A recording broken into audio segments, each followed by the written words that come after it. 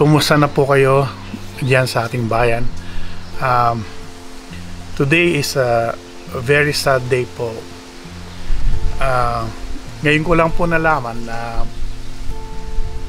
merong isa sa mga coordinators ko po uh, I think naloko po ako uh, napapansin ko po yung ating Love Dial channel wala na masyadong nagko-comment at nababawasan tayo ng mga subscribers. Uh, so today po uh, May 20 binuksan ko po yung Loud All Facebook account ko po. At marami pong mga chat doon na uh, ang nangyayari po pala yung mga ayudang binibigay ko. For example yung pong may sakit na batang leukemia uh, makikita nyo naman po doon sa vlog binigyan ko po ng 10,000 uh, pesos uh, galing po sa akin at saka mga donors ang hindi ko po alam after nung video uh, itong isang taong ito po ay kinuha niya yung 5,000k doon sa nanay Galit na galit po ako ngayon ko po na lang nalaman ito. Biro nyo po yung bata namatay. Although hindi po yon ang reason, pero ang punto ko po doon, bakit po nagawa ng isang tao ito sa akin? Nabalitaan ko rin po na kung minsan nagbibigay ako ng grocery items, ito pong isang individual, kinukuha niya yung ibang items. Napakasakit po sa akin to dahil ang gusto ko lang po ay makatulong dyan sa atin at uh, mabigyan ng konting kaligayahan ang mahirap sa ating bayan. At meron pong nagsumbong din po sa akin na itong isang taong ito ay nangako na bibigyan ng mga ayuda ang mga ibang tao dyan. Wala po akong sinabing ganon at lalong lalo na po, hindi ko po alam yung nangyari dun sa 10,000k na yon na 5k lang po pala ang natanggap ng recipient. Naintindihan ko po, marami pong nag-chat na sinasabi po na mara, siguro scammer itong vlog tayo o channel. Kaya po kumukunti ng subscribers at saka po nagko-comment. Naintindihan ko po ang inyong uh, pag-iisip at ang yung reaction pero rest assured po hindi ko po alam yung ginawa ng individual na ito I trusted this individual na tinurang ko parang kapatid pero ito palang gaganti sa akin anyway nag-iisip po ako ngayon kung itutuloy po pa itong ayudang binibigay ko sa inyo dahil nga marami nang nag-iisip na baka scam ito at maraming nangyari na hindi ko alam na nang lolo ko pala ng mga tao. Again, inuulit ko po, wala po kong alam dun sa mga nangyayari.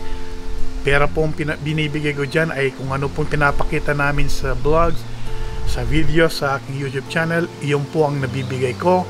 Pati po yung mga grocery items.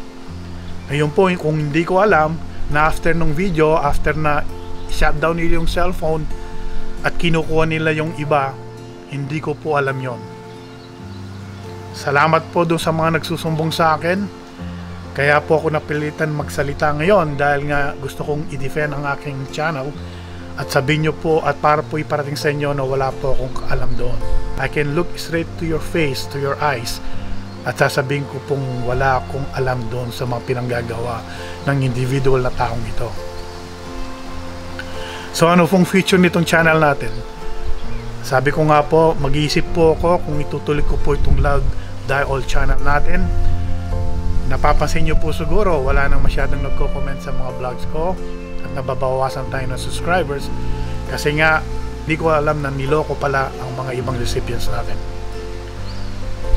Kayong pa man po, humingi po ako ng tawad sa inyo kung ano pong ginawa ng itong individual na ito. Hindi lang po kayong linoko niya, lalong-lalo ako po ang ginoko niya. Hindi po biro ang kumita ng pera dito sa States. Meron po tayong mga donors din. Hindi rin malaki ang masyadong nabibigay nila. Pero isipin nyo po yun, pinaghihirapan po rin nila yon. At ito pong binibigay namin sa inyo ay nanggagaling sa sarili naming bulsa, sa, sa sarili naming pawis. Pero masakit pong mabalitaan na meron pa lang ng lolo ko sa akin, sa amin, sa mga donors, at kinukupit yung mga padala ko. Kayo na pong balang umasga, at kayo na pong bala kung maniwala kayo sa akin o hindi. Pero po, ah, sana uh, kung ipagpapatuloy ko itong Love Thy All, sabihin nyo po sa akin sa comments kung meron pa akong uh, mga supporters dyan, mag-comment kayo po sa akin dito sa aking uh, vlog na ito at i-encourage nyo po sanang ituloy ko ito. Ngayon po doon po sa mga taong nag-subscribe at naipangakong bibigyan sila ng ayuda, hindi po yun ang intention natin. Uh, hindi po tayo mayaman at uh, hindi ko po pwedeng bigyan ng lahat-lahat ng mga tao na humingi ng tulong.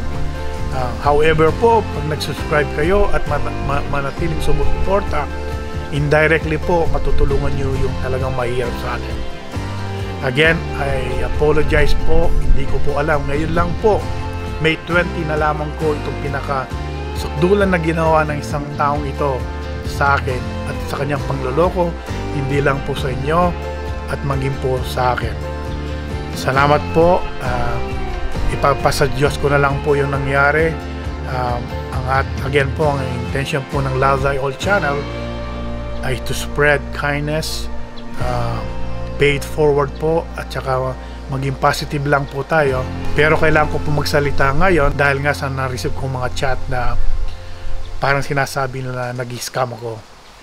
Uh, nangliligaw sa mga recipients at pinapangako na akong bahala at bibigyan kakausapin ko si Lauday All para mabigyan ka ng puhunan. Napakasakit po talaga nangyari at uh, as I said, uh, hindi ko uh, makakalimutan itong nangyari sa akin. I trusted people. Tinuring ko parang kapatid. Ganyan yata talaga ang buhay ng tao. When it comes sa pera, mahirap magtiwala. So right now po, napaka lungkot ko at very down ako. And I'm thinking kung itutuloy ko pa itong uh, Love Thy All channel at ang pagbibigay nating ayuda. Uh, pero po, uh, kung meron pang sumusuporta sa atin at talagang uh, they believe in our cause mag-comment po kayo dito sa vlog na ito at encourage nyo kung ituloy po ito uh, pero pag wala nang magko-comments at talagang nakikita ko wala nang subscribe that means na wala na kayong tiwala sa akin at talagang ala, akal, uh, naisip nyo na part ako ng scam na nag- nangyari dyan sa atin kung po yun ang decision nyo i-shutdown ko na itong channel. Uh, pero otherwise po, uh, kung talagang marami pang sumusuporta sa akin, ipakita nyo po by commenting on this vlog.